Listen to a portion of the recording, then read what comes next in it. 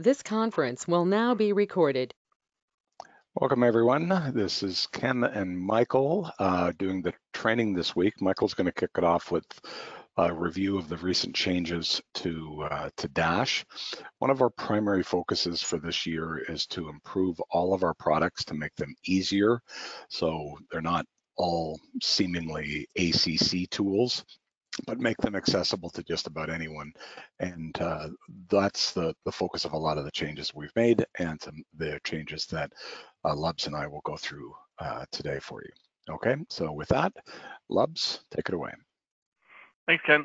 All right, so I'm going to discuss some of the, the features we've added to the Keystroke Dash. This is not going to be an overview of, of everything in Dash, um, just some of the features we've added in our most recent update. Um, and with that update, um, it's still in the beta site, so if people go to our regular website to download, they won't have it. Um, but for any KPPs on here, if you want to, you know, try it out, um, I can give you the link to to download that for sure. Um, and here's here's the actual version here. Okay. 0.50, 11.0.0.50. All right. So the one thing um, that we wanted to add um, for a while now is the ability to filter, sort, query, whatever you want to call it, based upon the actual activity type. So for example, meeting, call, um, in, our, in our database, any custom activity types, uh, X service, um, etc. Because currently, or I'm not, not currently, but prior, you really can only filter or query based upon the result of the history. Okay, so you can just say, show me all calls. Um, you'd have to go and sort by the the result of all the calls. So you'd have to find all the results and then filter, add those to the query. So what we've added was is a is a field called activity type to the query. So let me show you how that works. Our query up here. so in the history, whenever we do a history table now, there's going to be a, a, an option that's been added. It's called activity type. Okay, now this is going to be a little confusing because there's also a history type. And these two are not the same, but but uh, when we look at the actual history, let me open the actual history up. Double click here. The type here, okay, even though this is a history, the type here, this is the activity type. So when you're doing a query and you want to find a certain activity type, this is this is the field you're using right here, okay? The result over here, behind the scenes in the SQL tables, the result is actually called history type yeah, okay, Act did that. We, you know, obviously it's confusing, but we cannot really change that in, in Dash. Otherwise, it'll break a lot of other things. So we can't label it result because, like I said, that'll cause a lot more damage. So in Dash, the the field that's result here is actually history type. Okay, so if we, I'm just going to set this over here, make it a little easier. So if we look at this list here, activity type in Dash equals the type here in history. Okay, history type here in Dash equals result in history. Okay, so that's just going to sort of be a training thing to, to teach users as they start using it. Once you start doing it, it just sort of, you know, you just sort of get used to it. But initially, it's going to be, I'm sure it's going to be confusing for a lot of people. Um, but like I said, the good thing is now we can we can filter by that particular field there, activity type. That was not in there before. Okay, so once again, when we go into our query and we choose history as our table to query on, activity type will be there, history and everything else will still be there that was there before. And as I mentioned, the results is not there. Results equals history type. So if you're looking to query on the actual result from the history box, that is going to be history type in the query dropdown. Okay. Any questions on on that particular part? Like I know, like I said, it's very it's a little bit confusing at first with, with the differences there. And once again, it's really sort of out of our hands because it's the way ACT refers to those fields behind the scenes. Okay. All right, so a couple other things we did, just sort of minor things, but um, very helpful tools, okay? Whenever you're looking at a list view in Dash, um, two more buttons have been added to the toolbar, and, then, and they're sort of stand out because they're orange. Um, the first one with a checkbox, that allows you to select things. So, or I'm sorry, select all. So if it's a large list, you don't feel like doing shift, and the first one and then shift always scroll all the way down to the bottom to highlight everything. You just click that button, it selects them all. Now, you know, why would you want to do that? Well, the main reason is, is if you do a query and maybe these are the phone calls you want to make, make this week or people you want to follow up with. You can easily highlight them all, right click, go to contact. And it's going to pull up a list of those contacts in Act for you. So let me let me tell you the the genesis of this. Um, Lubs is going to soon show you the the new campaign query feature that we built. And what I did was I used that feature to look up everyone that had an opt out or everyone that had a bounce. And it was a lot. So I then was trying to select them all and just instinctively went control A, which did nothing. Okay. And then I thought, okay, well, if I'm thinking it's going to do something, I'm guessing a lot of other people will as well. I then knew to check um, shift end, but we thought, okay, that's that's a little too complicated. So we created this uh, select all and deselect all for precisely that purpose because I had thousands of records that came up and I, just as Lub said, I wanted to look them up. So there was a, a clear use case based on this new chart that uh, Dash now supports where we want to look up potentially thousands of, of contacts responding to the chart. Yep. And so as Ken mentioned, the button right to the right of it, without the checkbox, that deselects everything. Okay, so once you have it highlighted, you don't want to do that, or maybe you want to change what you want to, who you want to look up, you can deselect them all. Now it still has the ability to just, if you want to just highlight a few of them, you can just sort of drag them down like this. If you want to highlight just those few people, look them up, or you can sort of pick and choose with your control, similar to any list before. So that's still there as well. Okay, we just added a little more functionality there. Once again, just to make it easy use for the customer. Okay. So next thing I want to cover is what Ken sort of alluded to was campaign query. So let's just create a new um, new dash here. And now in your panel here, what, what has been added is campaign. Okay.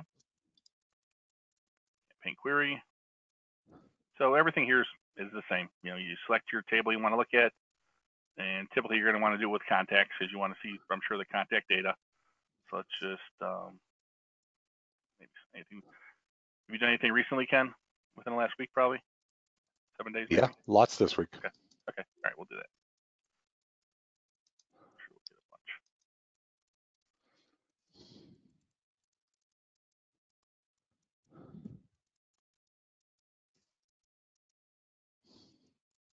Get your fields, and so now you have access to all those campaign fields.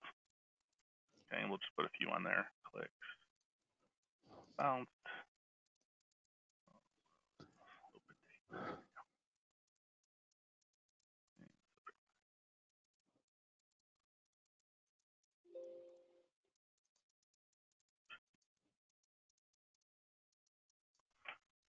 Okay, and then there you have it. Okay. And there's your campaign for the last seven days. And once you're here, same thing goes here. You can, you know, you have the filter buttons on each of these. So if you want to see things that were bounced, you can click that button.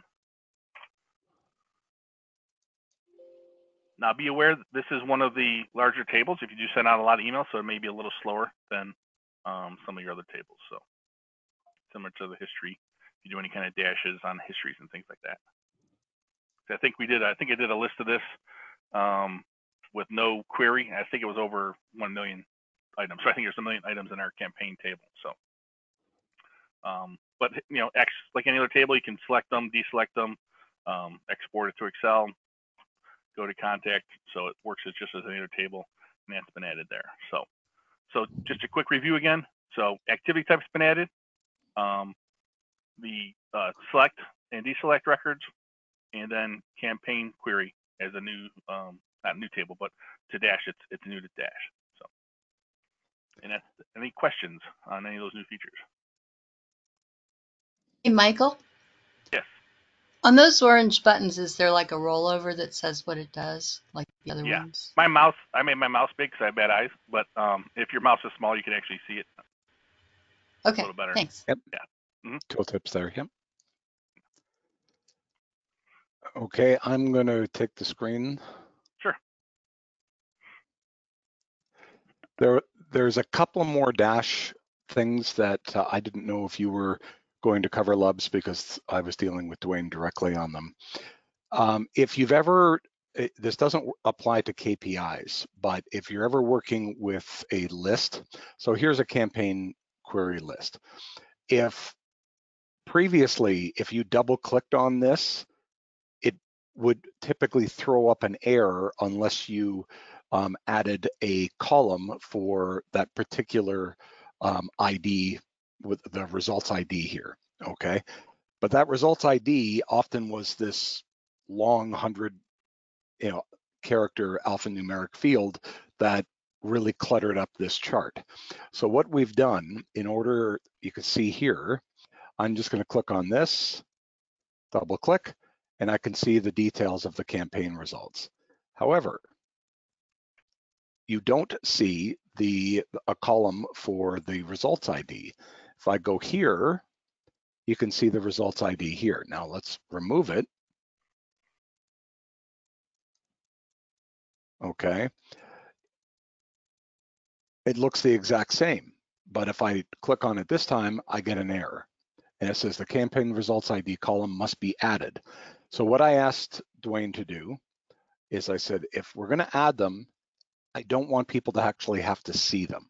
Okay, so a couple of things. It's not going to go back and backport all of your um, existing dashes, but new dashes should show you the um, automatically have the appropriate ID field included.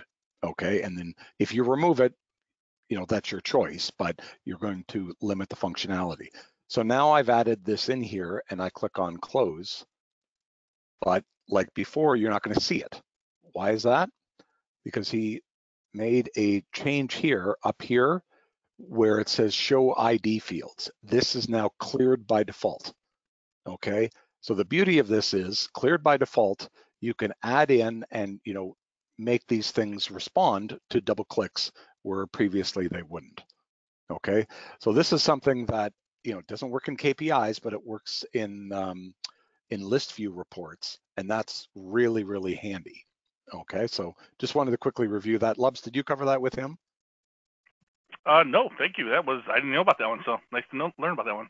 Yeah, that was just something him and I were working on it again with mm-hmm. an eye towards making it, you know, as simple as possible. And right. obviously, and and even in the KPIs like here, if you double click on this, um, actually, sorry, this is a list view. Um, if you double click on this, it's going to present an error. We're, we're going to try to make that a little bit friendlier. Okay, I just see a question here. Is there yeah, a way to refresh all of these at once? Refresh. Right, right here. Oh, okay. And okay. you can do it. You can set the intervals. I saw that too. Yeah, whatever. and I always said because that's typically the characteristic of a dashboard, is that it's showing you live data. So that was something that, believe it or not, the previous Dash was supposed to have, but there was no code for it. Okay, so Dwayne finished that job, but here's where I set up the automatic refresh.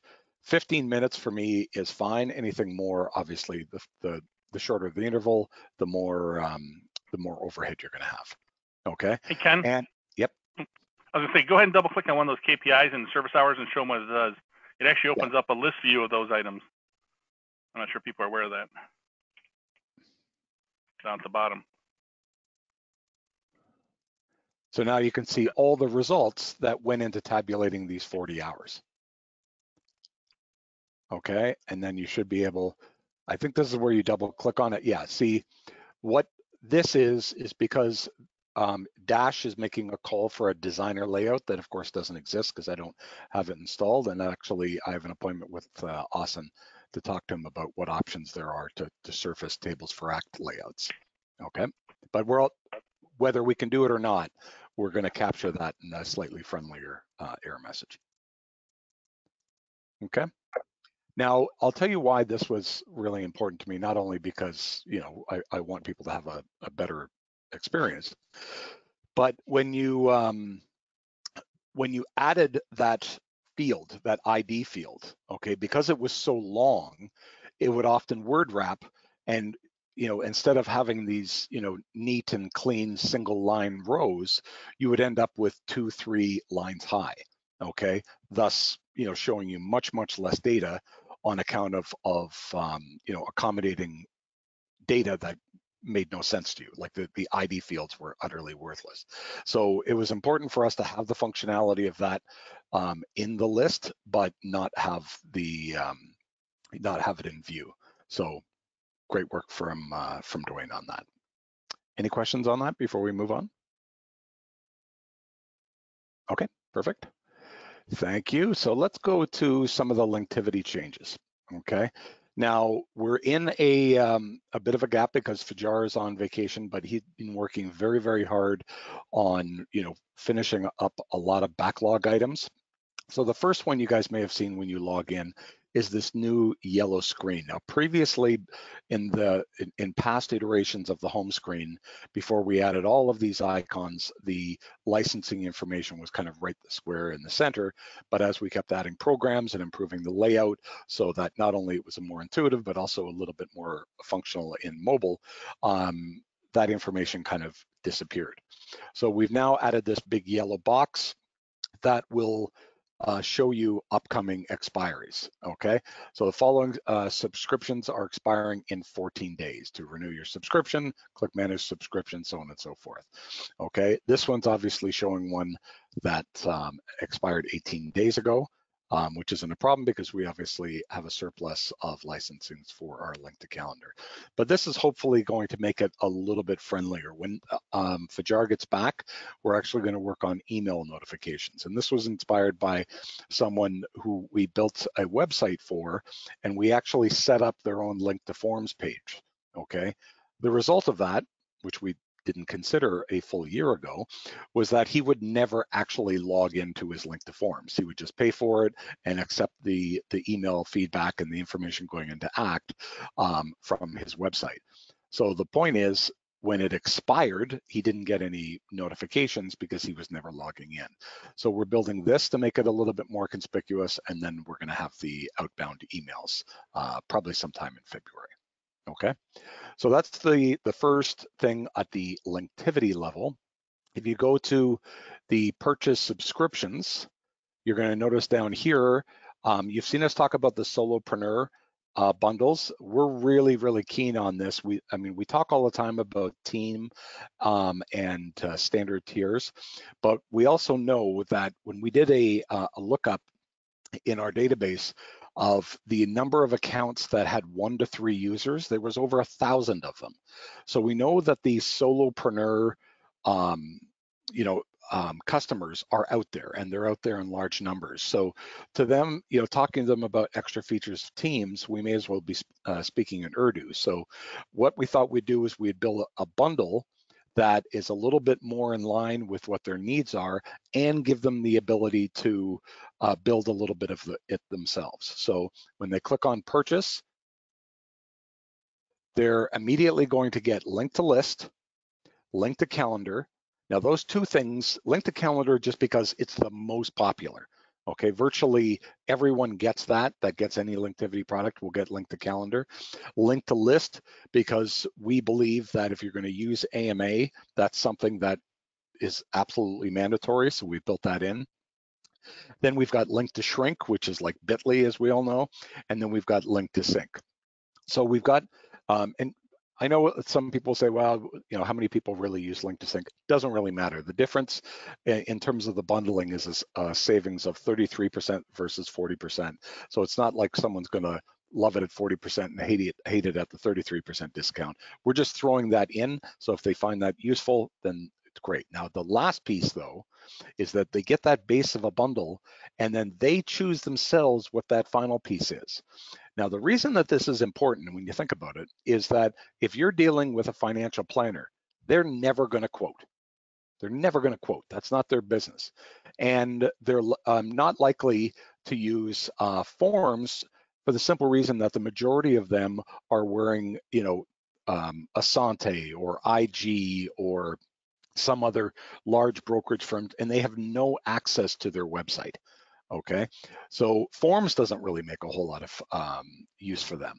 However, events where they're organizing lunch and learns or surveys where they're going out, and remember, a lot of these financial planners have to comply with what's called KYC audits, know your client audits.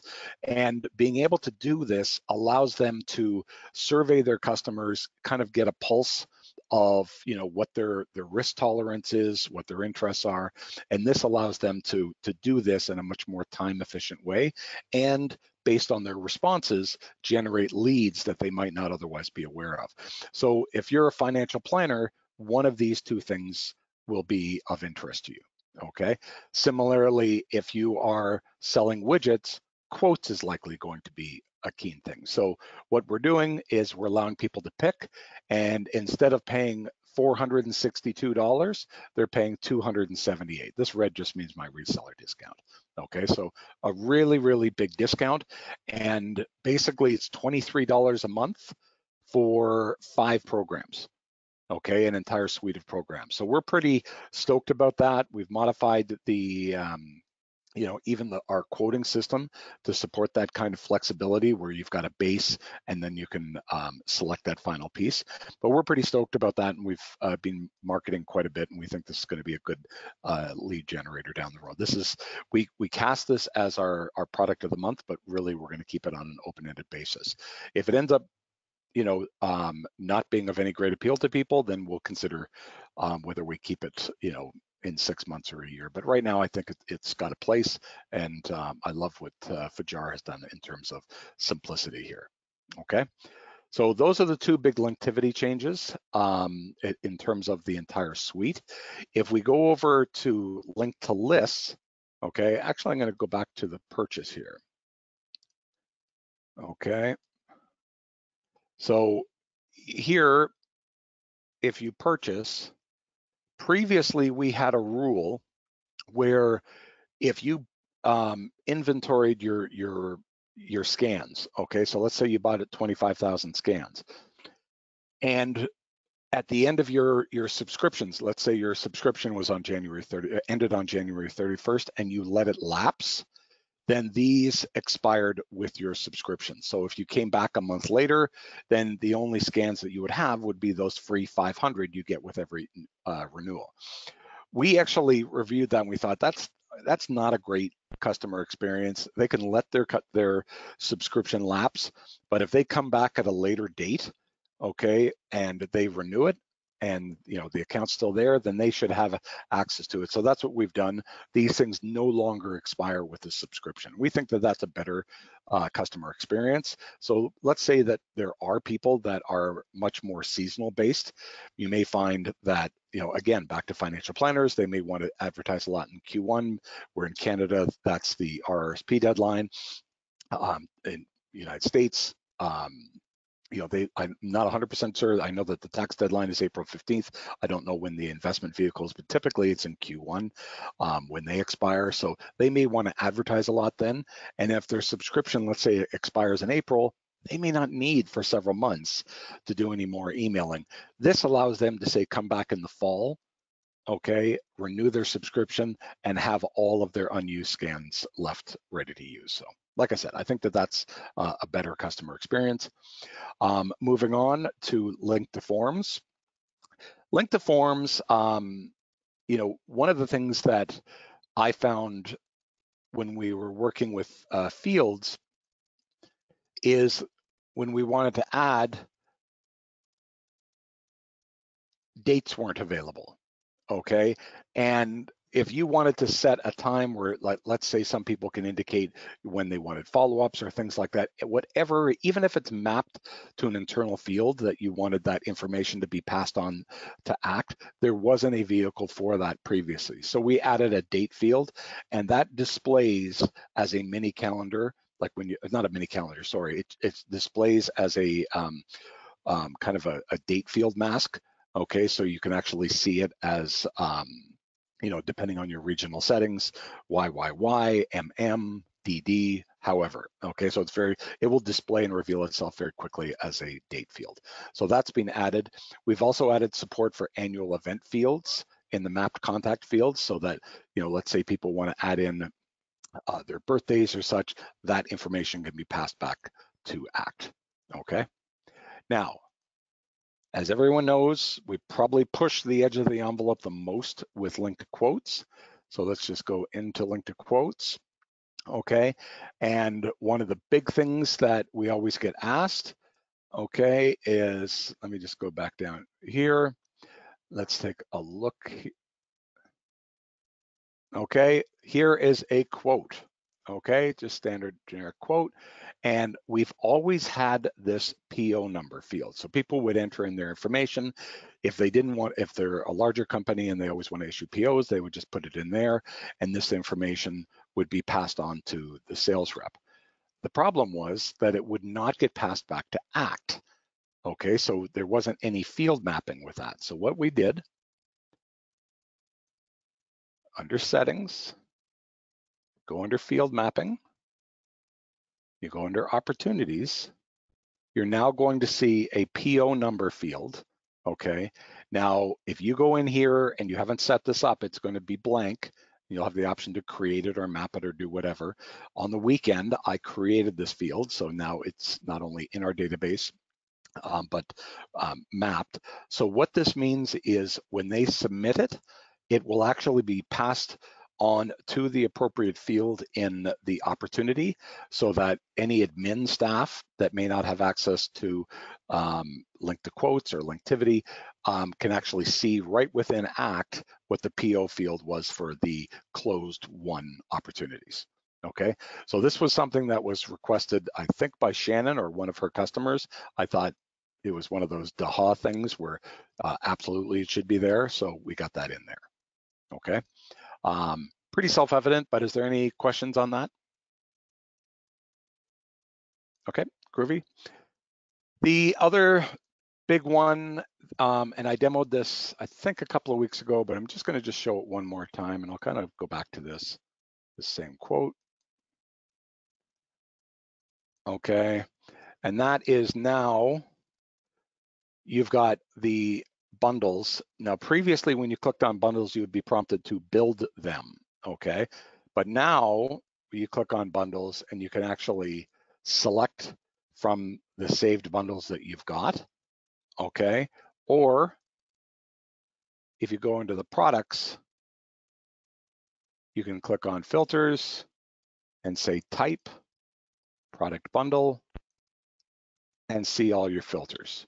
Okay, now you can see Sylvia has um, translated every single one of them, but let me just show you um, one of the reasons, even though I showed this to you, I haven't showed everyone the final iteration. So here you can see um, the standard descriptions. This price override feature is incredibly important, okay? Because for that bundle, for instance, that's going for $278, I would then put in the price override because normally a bundle will aggregate all the um, the items in it, okay, and basically show you the the total price of all the you know it's basically the sum of the uh, the parts, okay.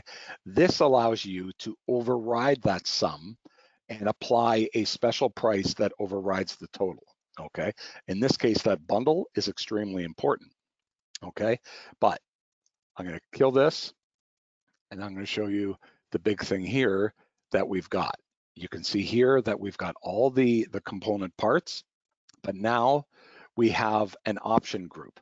And what the option group allows you to do is if you put in um, option, the same option group here, okay, and the same option group here, then these two items within that bundle will be mutually exclusive.